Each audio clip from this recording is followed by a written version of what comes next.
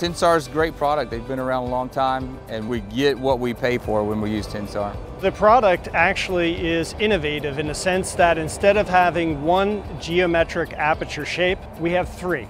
It allows the opportunity for more particles to interact with the geogrid itself causing greater penetration of aggregate and more resistance to lateral movement of the stone within the aggregate. This new product is great for areas that have real soft soils. We can put it down, build a road across, and know that that gravel is not going to sink into the ground. In construction, the more stone you use, the more expensive. So you can imagine that when you're trying to achieve a thickness of six inches, you're putting more stone and you're compacting it down to six inches. Today, we can design to a level of four inches. We're saving the client money and time and meeting design requirements for the project.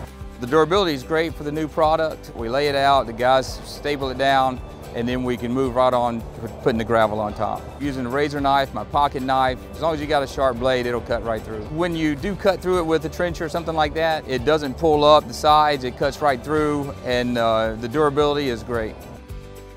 To learn more about Tensar InterAx GeoGrid or our other solutions, please contact us at 800 Tensar 1 or online at tensarcorp.com/interax.